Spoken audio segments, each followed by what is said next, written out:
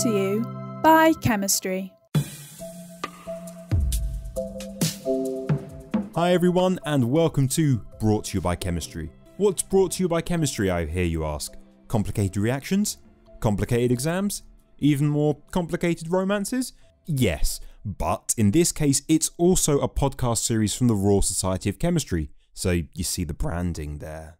My name is Dr. Alex Lathbridge, and we're fully charged because in this series we are taking a look at batteries, bringing together experts from inside and outside the world of chemistry to help us understand the ins and outs, the positive and negative, the ups and downs of all things batteries.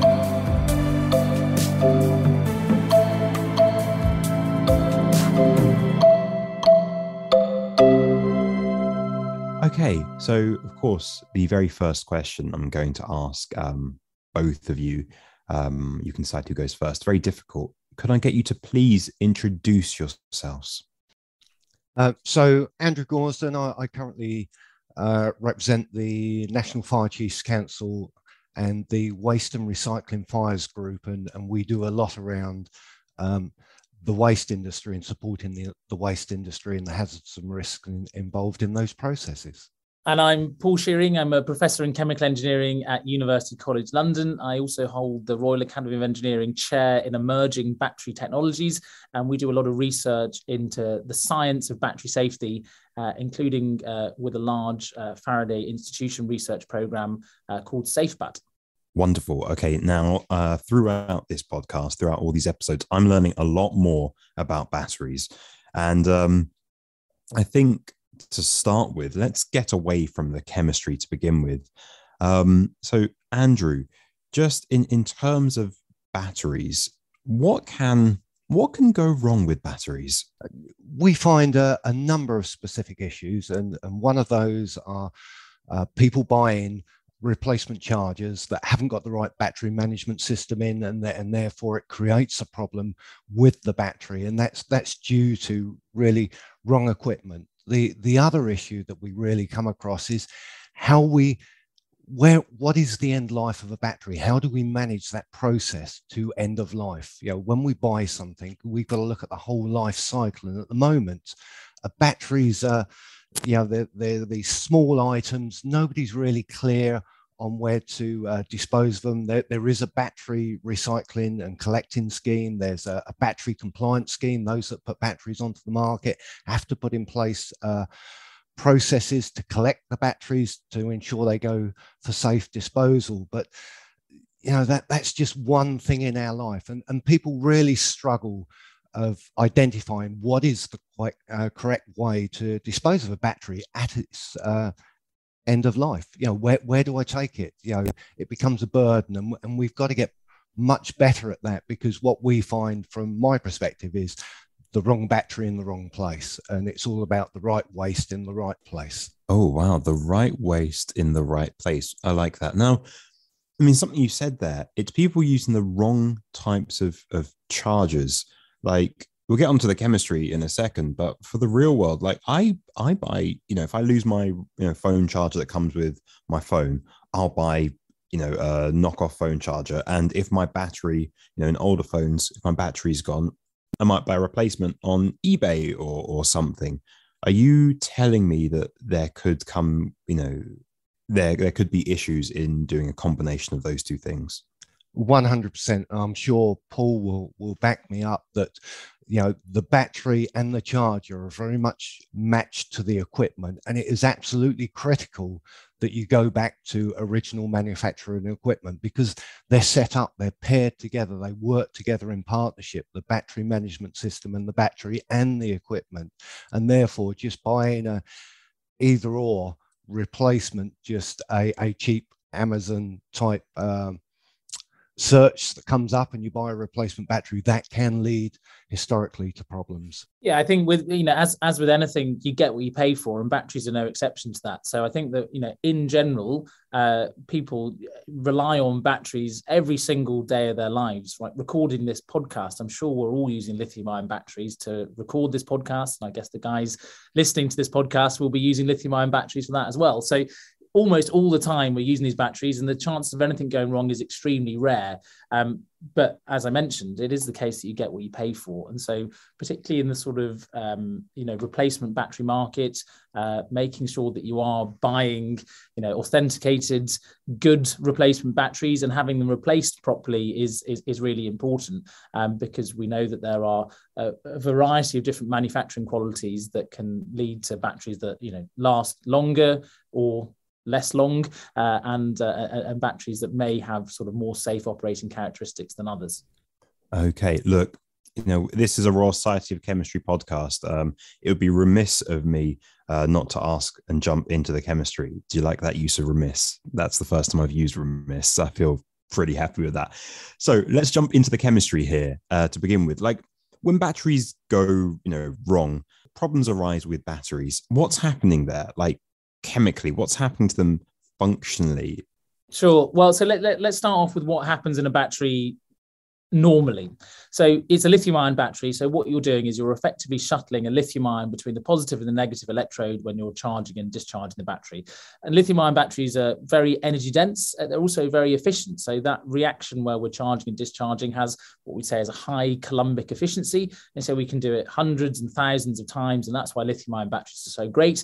And we use them all the time, both in our consumer electronics and our electric vehicles, and increasingly in sort of really large applications like grid scale energy storage. Um, but things, uh, you know, can happen that are somewhat unexpected, and they usually result from some unexpected chemical side reactions or some electrical phenomena that can lead to, to short circuiting.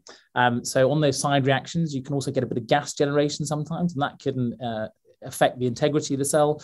And with some reactions like lithium plating and so on and so forth, in the rare occurrences that they do happen, you can uh, you can eventually get some short circuiting behavior.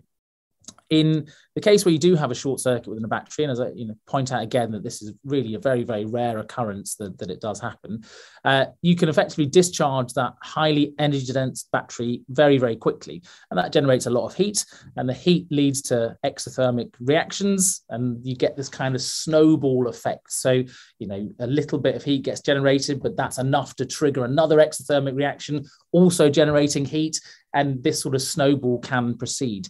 And if it proceeds sort of unchecked, uh, then we can get this uh, phenomenon called thermal runaway, which is the sort of large, sort of catastrophic failures of batteries. Again, extremely rare. And just because you get some of these side reactions, most of the time they won't lead to thermal runaway. But as part of the research that we do, it's sort of our responsibility to often understand the worst case scenario in terms of what can happen. And to do that, you know, we do things that are definitely, you know, do not repeat at home experiments. We put, take batteries and we expose them to electrical abuse or to mechanical abuse or to thermal abuse. And, you know, we, we, we have great fun under controlled conditions blowing these batteries up but it definitely comes with a health warning that this isn't something that you should be doing at home we we fail batteries under really the worst case scenarios just to understand exactly what could go wrong in those very worst cases I mean, I'm enjoying the caveats there. And I was thinking you could add an extra one there to really test these batteries under, you know, a controlled condition. You could um, subject them to psychological abuse and sort of tell them they aren't good enough and they'll never be good enough. And oh, well, I'm, I, am always singing the praise of the lithium ion batteries, so I don't think there's any uh, any psychological abuse. But it's interesting when you when you think about some of these abuse tests, are sort of just uh, one that the audience may be familiar with, but it's a standard test and it's called the nail penetration test. Um, um, what? No, no, no, no, Andrew. Why are you nodding like this is a normal thing? And I'm like, oh, this is a thing that listeners will be familiar with. That's not a normal. Who goes around putting i'm look you haven't even explained it but i'm assuming you put a nail inside a battery or you stab it, it, it, with a battery. It does what it says on the tin yeah. The nail penetration test is exactly that. You take a nail hydraulically drive it into the battery. That is the extent to which these batteries are abused during qualification. Uh, and yeah as i mean andrew might have some experiences of the uh, uh, the outcomes of having done that extremely aggressive test. Um, but it's a standard thing that battery manufacturers do in order to make batteries as safe as possible before they go out to the consumer market. So, with what you've you've learned and uh, you know, all the stuff that you've done, like very very briefly, how can we detect any failures or like any degradation or anything inside the battery? Because to me, I look at a battery, a battery is a battery. Obviously, um, you, Andrew, and you, Paul, can look at a battery and divine some magic from it. How do you do that? How do you how do you know if a battery is good? Well, I, I, can sort of give you an indication, sort of during normal operation, how we know a battery's good. Um, if you're using a battery in a mobile phone, you know, or a laptop or an electric vehicle, there'll be a battery management system, and that tracks the state of health of the battery, and that can be relatively simple. It might sort of monitor the current and the voltage. It might monitor the temperature. Some of them are a bit more sophisticated, and they have other probes in there that can tell you about the sort of physical state of health of a battery. And obviously, in the lab, we've got huge arrays of tools, and we're sort of pointing all kinds of X ray beams and neutron beams and acoustic probes at batteries all the time to try and establish the state of health of the battery at all cases. Um, that then gives us some sort of signatures of when things sort of begin to decline in their performance. You know, you might see a change in the internal resistance in the cell, for example, which is an indicator that the battery is beginning to degrade. Over time, I think everyone will have experienced that their mobile phone battery needs charging more often. And that's because you get this capacity fade problem, which just means that the reactions inside the battery are no longer operating as effectively as they used to. And some of the active materials within the batteries are perhaps becoming isolated. So we've got a huge range of tools and techniques to give us the the state of health of a battery, and also then to provide us with some indicators as to when the battery should be removed from service. Uh, and then it ends up in the recycling facilities. And I guess there's a whole different range of tools that the recycling facilities use in order to, to, to sort of maintain safe operation there. But I'll let Andrew answer that one. And, that, and that's a really important point, I think, Paul, that we, we use a battery, it has a certain life. It's quite obvious to the user when the, the life uh, dips away and, and, the length of service becomes such that we want to replace the battery. Uh, within there, uh, your specific question, Alex, around uh, when do we know a battery fails? And, and with that, the general um, there are two things you'll, you'll notice. Either your battery's starting to get hot when you charge it, which is a telltale sign that actually something's not operating correctly. And the other one that, uh, and we certainly get calls around this uh, in the fire service is, is my battery's expanding. And, and when they start to break down, you get this buildup of pressure inside the battery and you'll see the battery expand. And at those two circumstances, that's when you, you need to start thinking about what am I going to do with this battery? And, and that's the challenge for the consumer. You know, what, how do you dispose of a battery at that stage? And that's the bit that we're working on at the moment that that public education around disposal of battery at the end of its life. So again this is an audio medium. Listeners um, can't see my face. But when you said there about uh, you know the, the two points that we should really be thinking about batteries. Now I, I know when batteries like expand i should really be like at that point obviously there's something wrong you know but when they're heating up like a lot of the items i own i i know that when you know when i put in the cable wiggle it maybe like you feel maybe after a while it'll get it'll get hot. So i mean at that point is that that's an issue? It unusually hot. So if the equipment you're charging becomes unusually hot then that's the time. Yeah during the normal process heat will be generated won't it paul? You know as part of that yeah, exactly. So, I mean, it, un- unusually hot is definitely the watchword there. I think, sort of, you know, if you feel the back of your laptop computer, you've got a battery and you've got lots of other kit in there and fans and so on to try and keep it cool. But, you know, if I pick up my laptop now, I can feel that it's kind of hot at the bottom. But it's not unusually hot. So, it's not something that I'm worried about. I think it's also true as well that a lot of consumer electronics probably have a, uh, a function in them where if the battery gets hot, it will sort of reduce the functionality and go into shutdown. You might have seen on a really hot summer's day, if you've left your phone out in the sunshine, you get a message that says, you know, temperature exceeded. We're going into sort of sleep mode for half an hour while while things cool off. So again, there's a lot of intelligence baked into these battery management systems to try and keep things safe. So again, we don't want anyone to panic. If the back of your laptop feels a bit hot, but not unusually hot. It's not really anything to worry about. But there are some sort of telltale things that we concerned about. You know, gas generation is one of them. So if it begins to puff up, then you know that that's that's time to sort of uh, take some take some action, and that means you know don't try and charge the battery any further. Um, uh, but but but but certainly don't think about you know puncturing it or trying to take it to pieces. This is when things begin to go to go really wrong.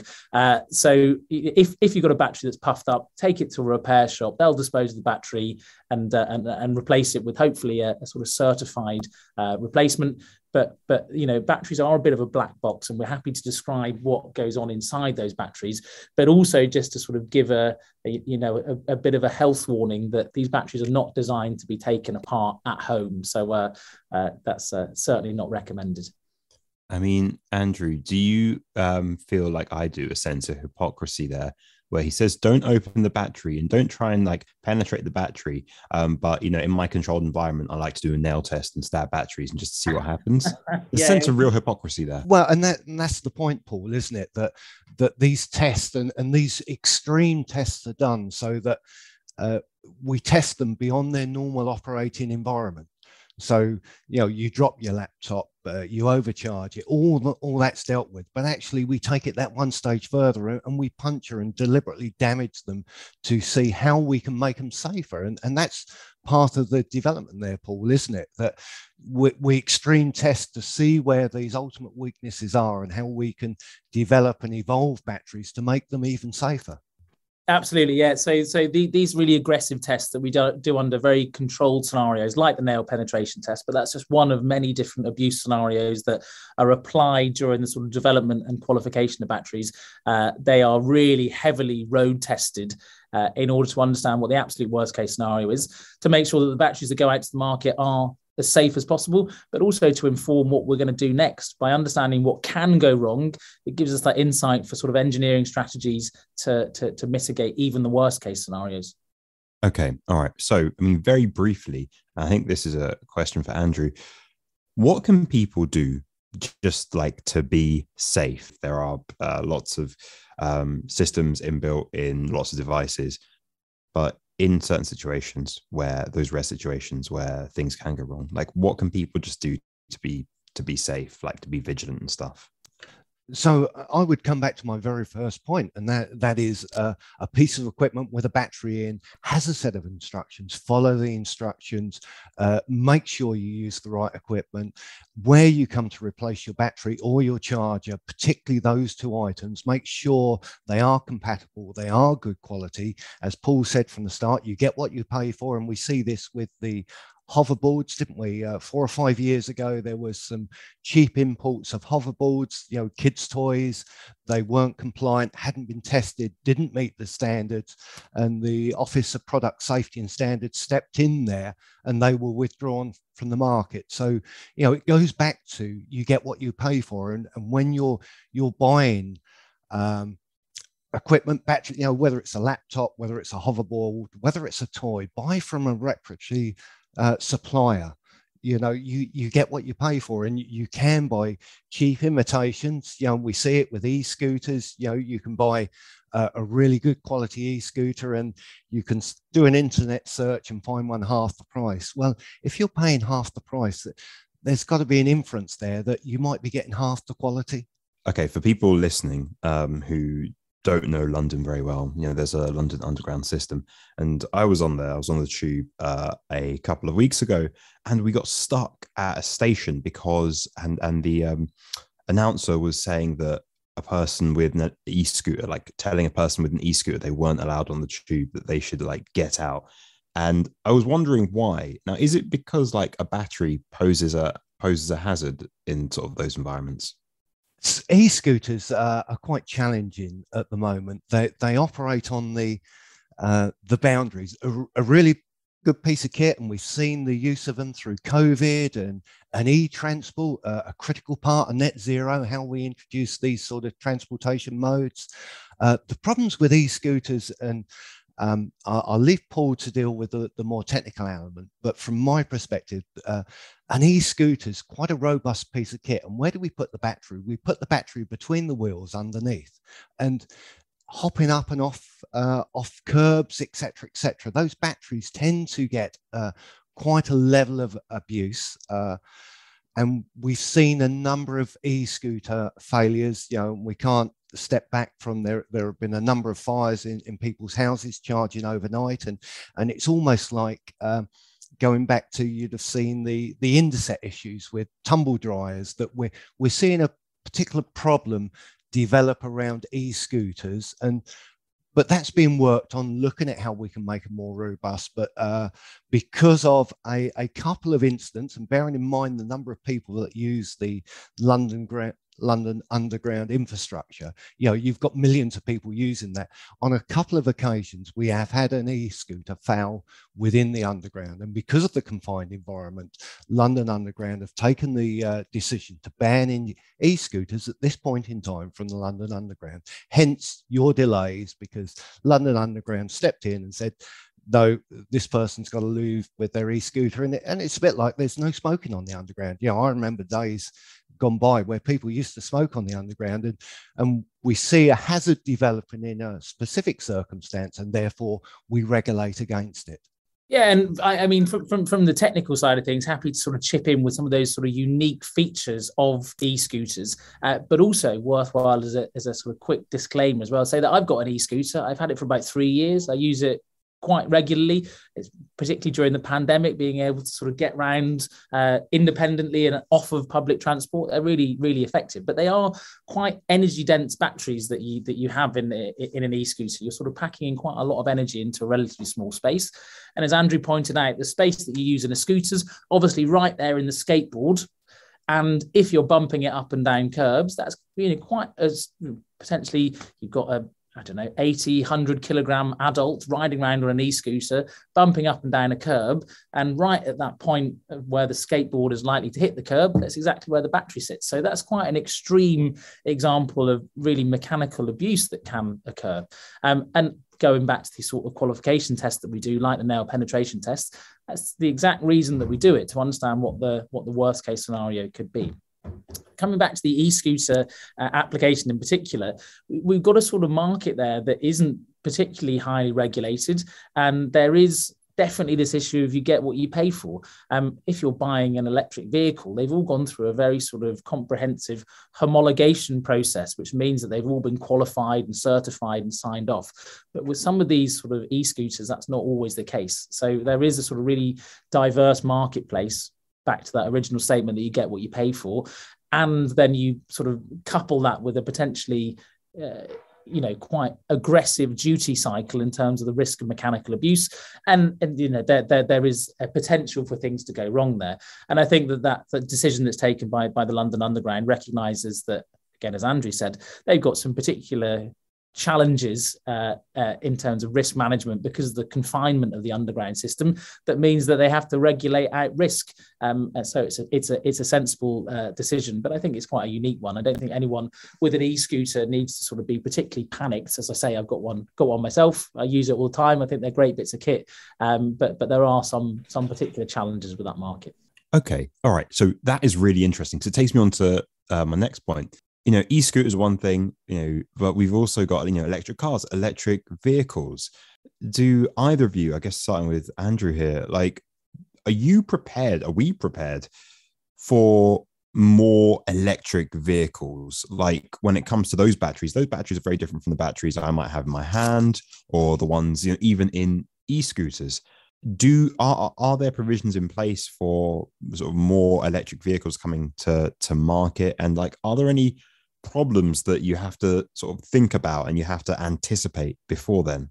E-vehicles are, are, are quite a challenging scenario. Coming back to Paul's points about energy density. So once you get up to vehicle size, you're you're now going to a huge energy energy density in a small space, and, and that's where lithium really excels in that energy density. But now the battery is getting somewhere near 80 kilowatts. It, it's quite a large piece of uh, equipment with a large energy density. So there, there are two elements there.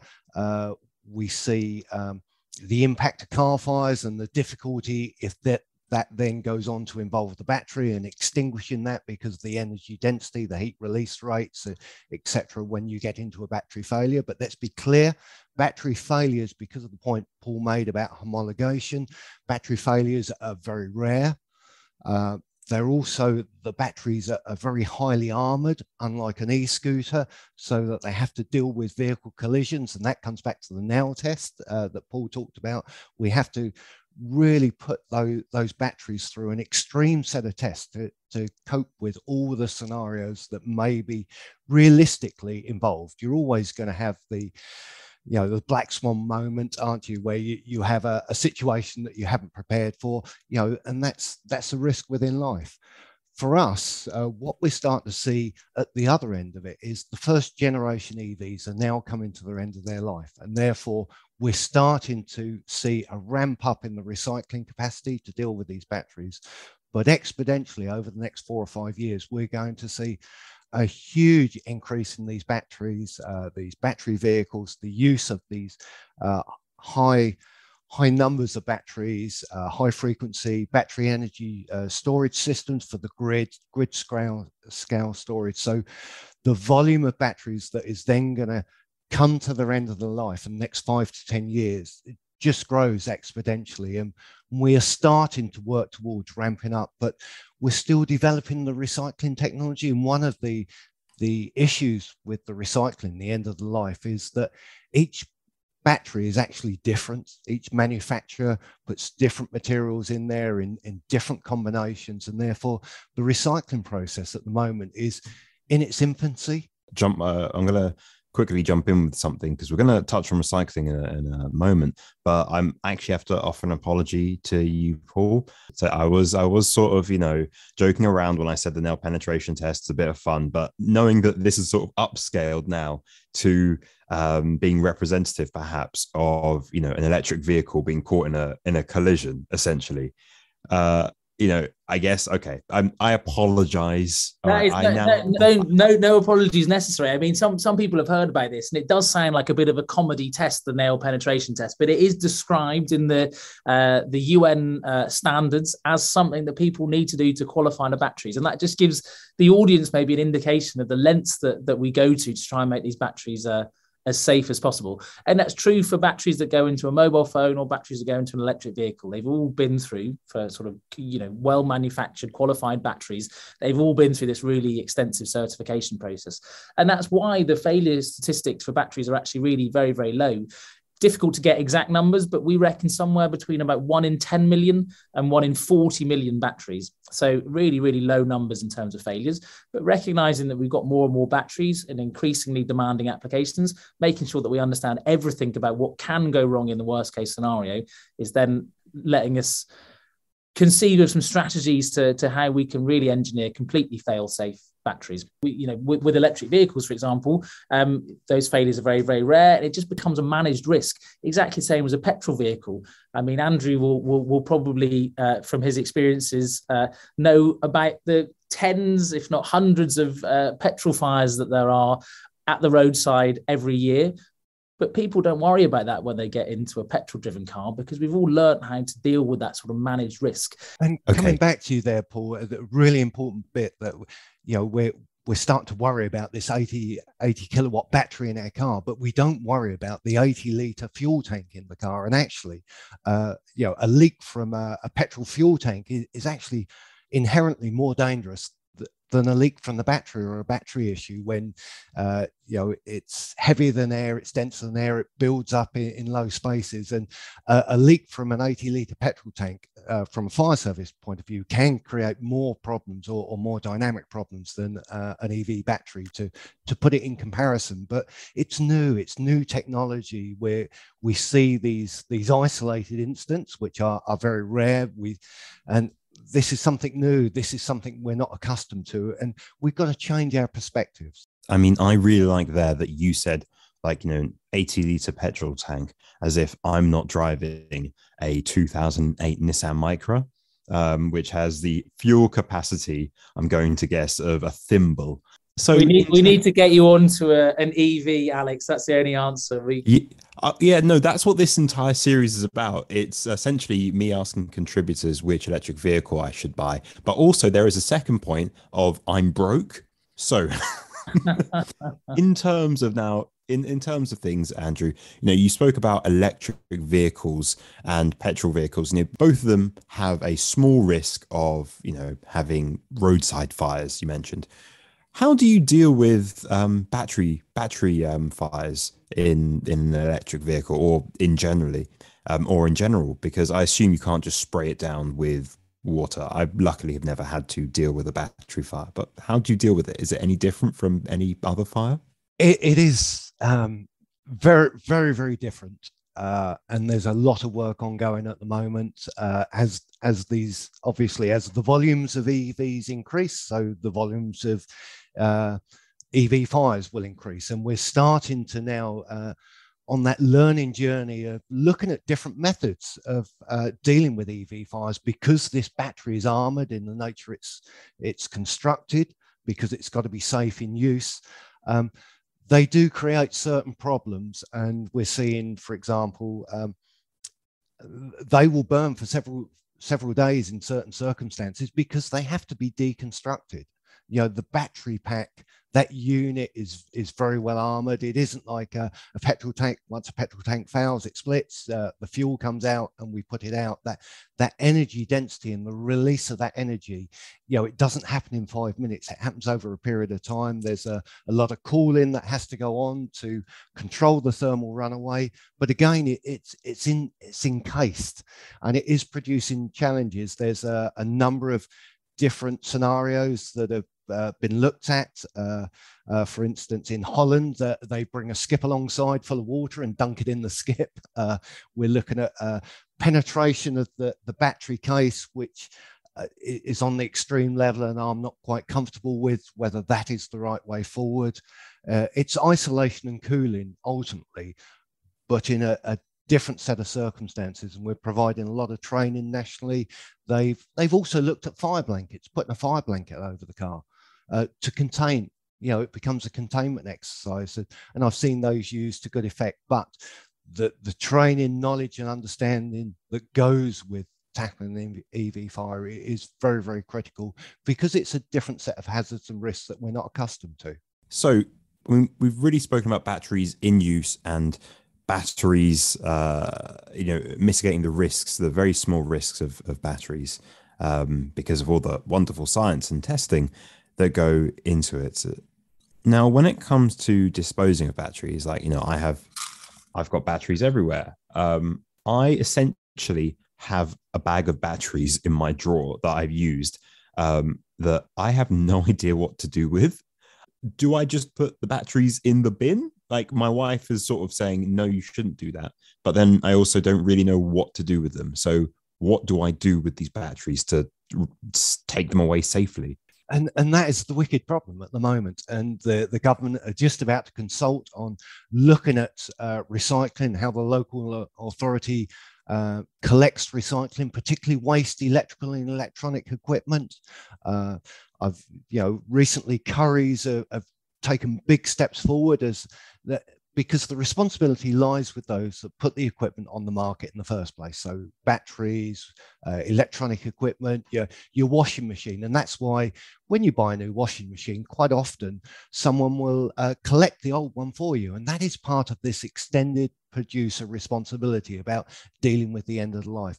Your, your small batteries that you, you use, uh, your disposable or recyclable battery, uh, rechargeable batteries that you've got on your desk there, generally you will find in most uh, supermarkets, uh, outlets where they sell batteries, they will have a battery recycling point.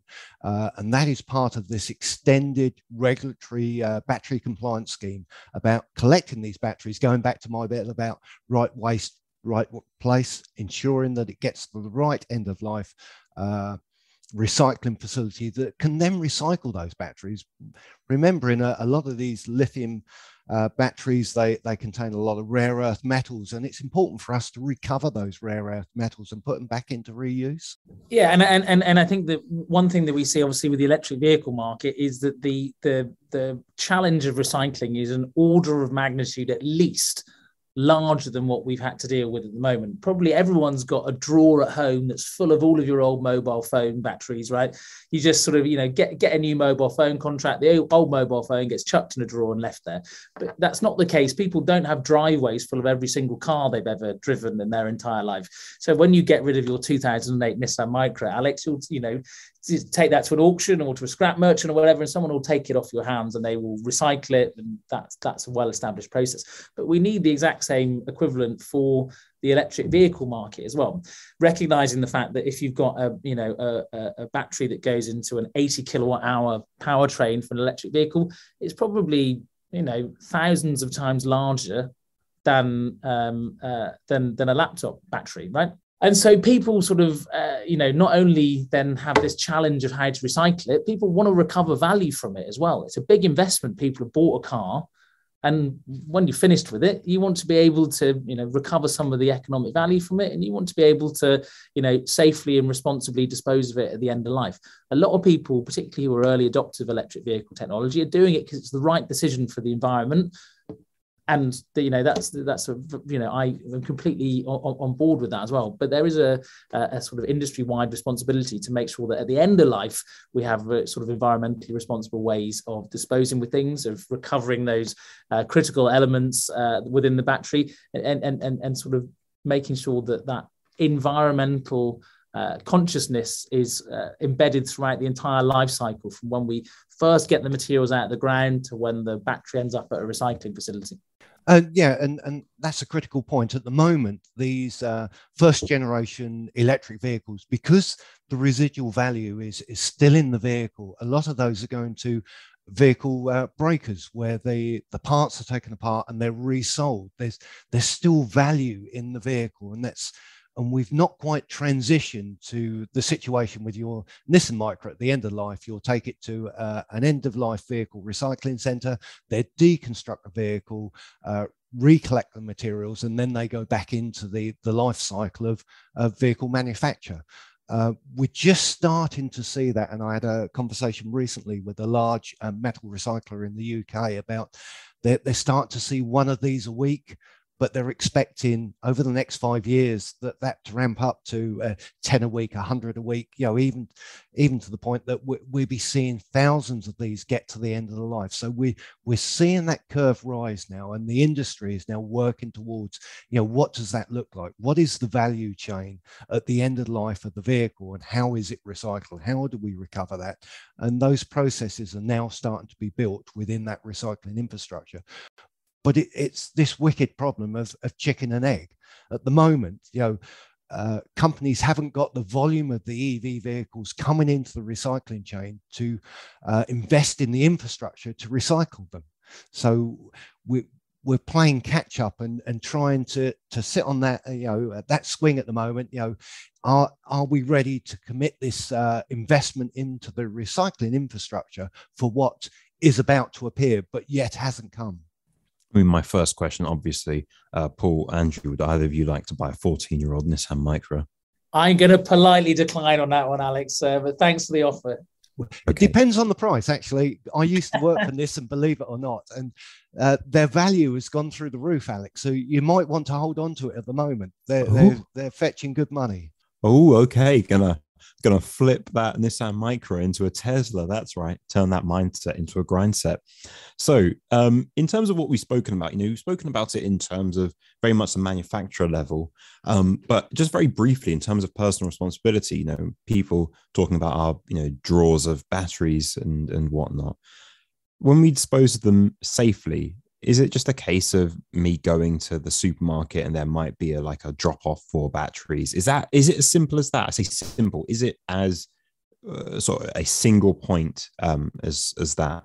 Very much so for your individual batteries. What we're also seeing now is that the government is making big moves around uh, what we call WEEE waste electrical and electronic equipment. Uh, I, I went in my B&Q the other day and I see that they've got a WEEE collection point uh, because it comes back to energy density and battery tools are, are, a particularly issue because they've they've got quite a high energy density in those batteries and it's it's once you get to that size that's when you start to get the problem if that goes in your cardboard recycling for instance and, and much of the waste process is about uh, dividing the material and separating it. And that, that process will introduce mechanical damage to a lithium battery. Um, you know, we have shredders and all sorts of equipment within the waste industry, and that that recycling process then mechanically damages the battery, and then we we create the problem through mechanical damage. Okay, okay. I mean, all right, that makes perfect sense. Yeah, don't put a battery inside a place where it might get mashed up because it getting mashed up can sort of make the bad things happen. Um, that's Alex's full use of science words.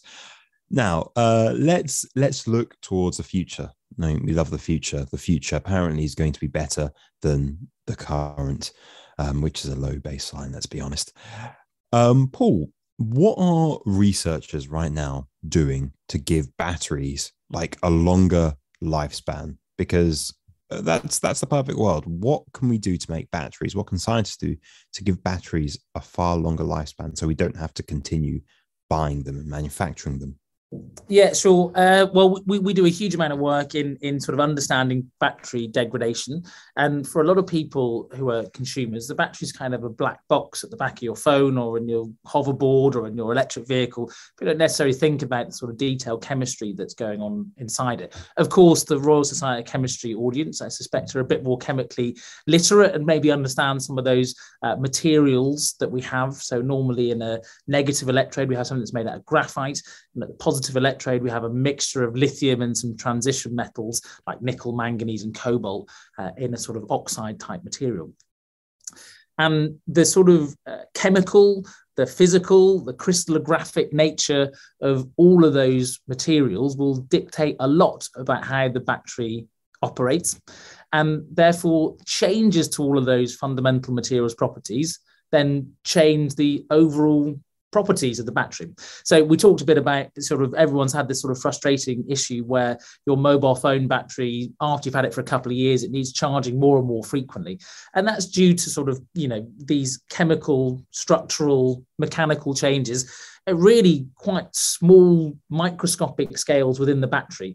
The materials begin to just behave slightly differently. We get sort of degradation phenomena that starts almost at the atomistic level but then the consequences are felt by the consumer because you've got to charge your battery more frequently.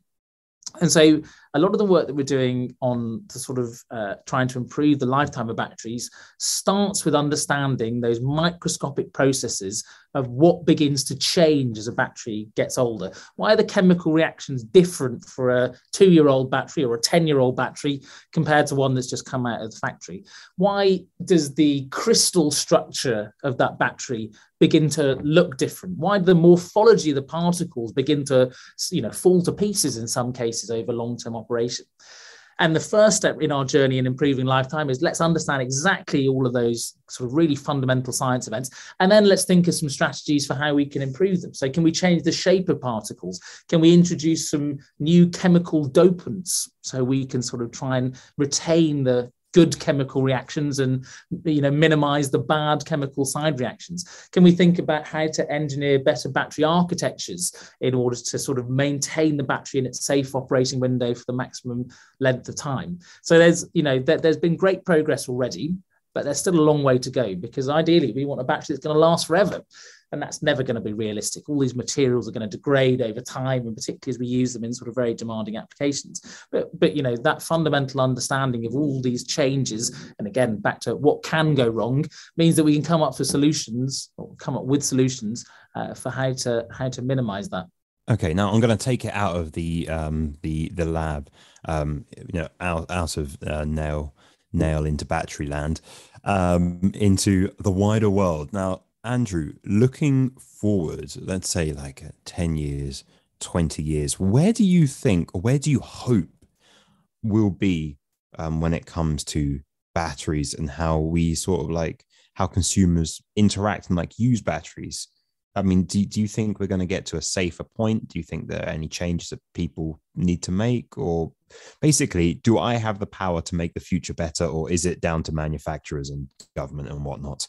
All of the above alex and and a question for you paul. What what i'd like to see is actually looking at the whole life cycle assessment of the battery because at the moment uh, recycling is uh, we put it through a shredder we create this uh, black mass uh, and then we we separate it out. And is there a better process? Can we design in uh, the end of life of the battery. Uh, but they're, they're such complex chemical processes, aren't they, that, that we put together to actually pull those apart at the end becomes very difficult. And, uh, you know, it's really important when you look at the future, Alex, or, you know, our, our rare earth metals are are finite, aren't they? You know, we've seen this with fossil fuels. We're we're getting the same with our rare earth metals, and and what's really important is is what we build we can reuse, repurpose, and recover at the end. So it's the whole life cycle. So what I'd like to see over the next 10 or 20 years is a uh,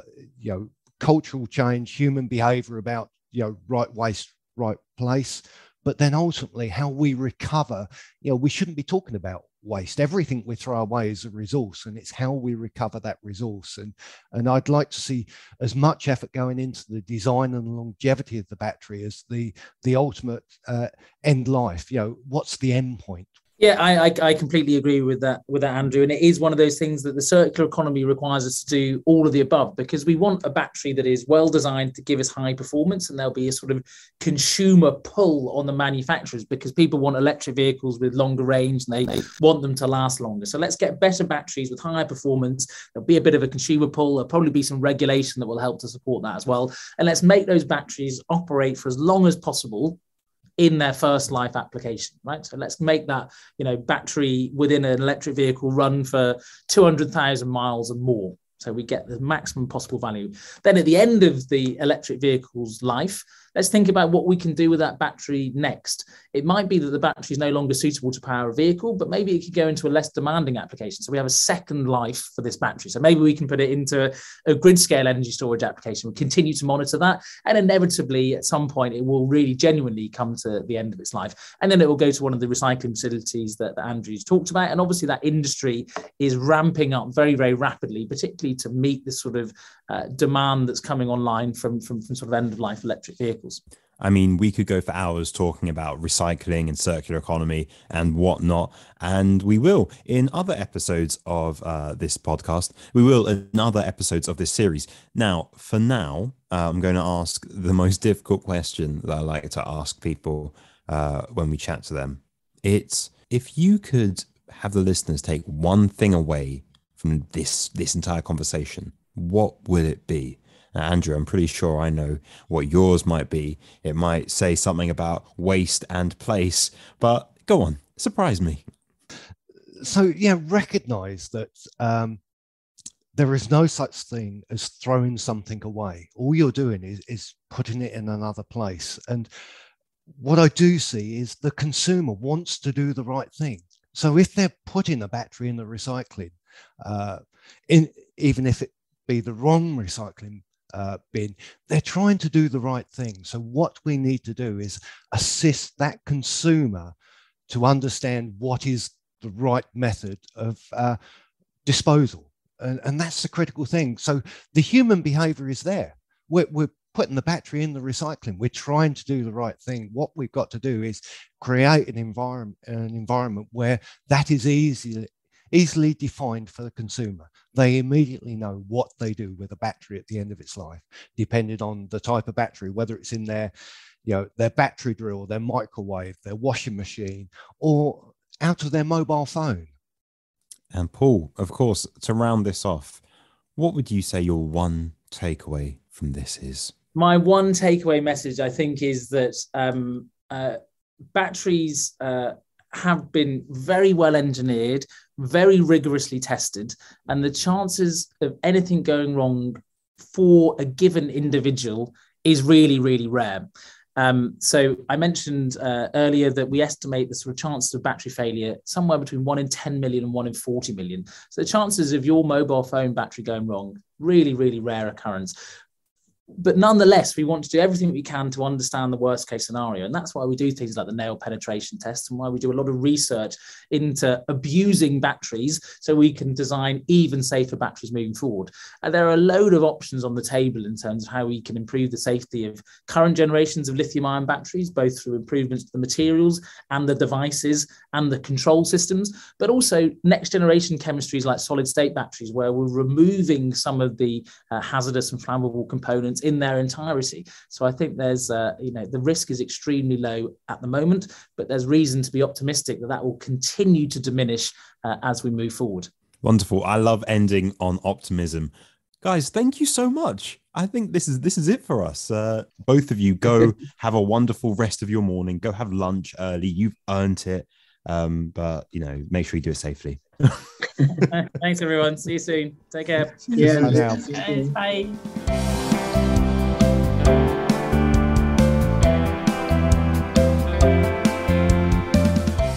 That's all for this episode of Brought to You by Chemistry. Join us next time where we'll be finding out how better batteries could make energy cheaper, more reliable, and more accessible in the most remote communities across the globe. It was produced by Hiran Joshi and Elizabeth Ratcliffe and presented by me, Alex Lathbridge.